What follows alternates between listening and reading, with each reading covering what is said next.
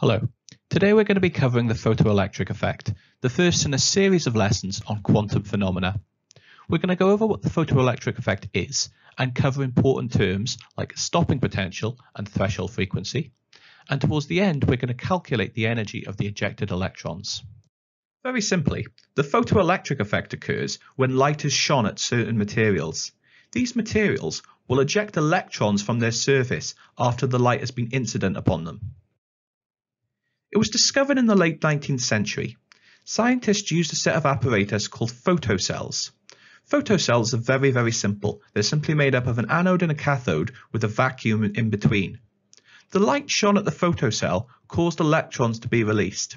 This was detected as it caused a small current to start flowing inside the circuit. There are several important observations we should make about the photoelectric effect. The first of these is that light below a certain frequency will not cause electrons to be emitted from a material.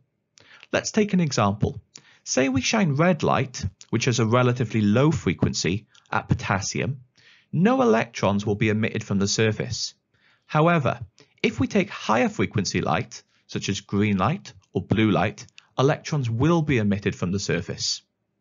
This was very important as it led to the idea that light was behaving like a particle rather than a wave in the photoelectric effect.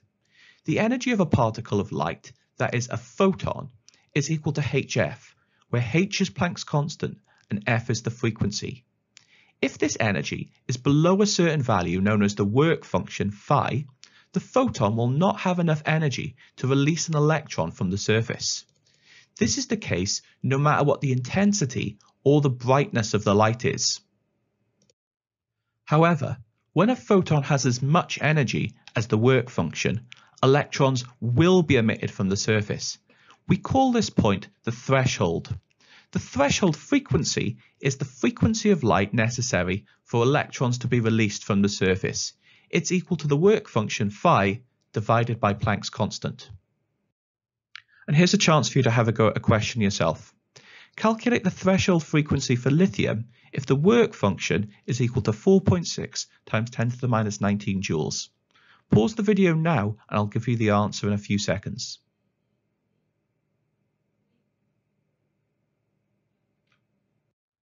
And here's the answer. You should have calculated that the frequency is equal to 6.94 times 10 to the 14 Hertz. There's a second important observation we should make about the photoelectric effect. As we increase the frequency of the light, that is, as we increase the photon energy, the energy of the ejected electrons also increases. The reason for this is because a certain amount of energy, phi, is needed to release an electron from the surface.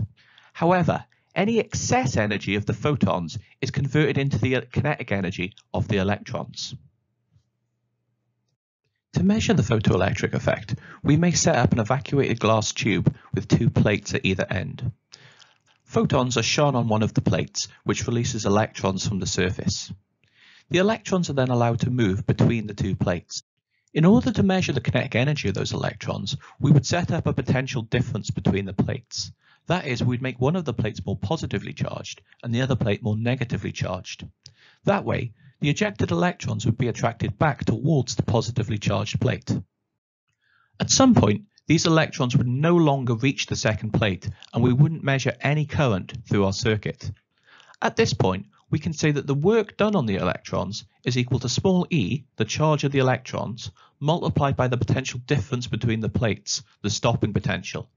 This then must be equal to the kinetic energy, Ek. Finally, we're going to get some practice using this equation. Firstly, we're going to calculate the work function and the maximum kinetic energy of sodium. After that, I'm going to give you a chance to fill in the rest of this table.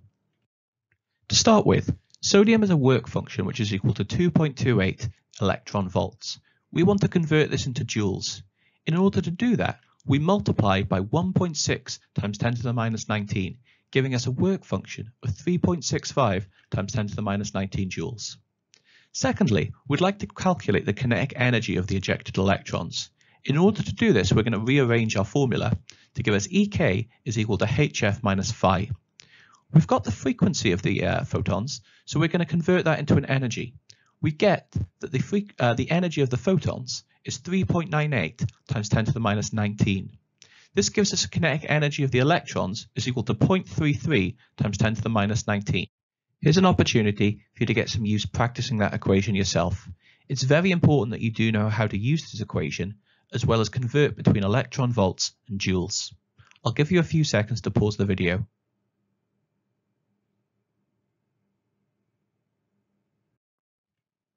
And finally, here are the answers.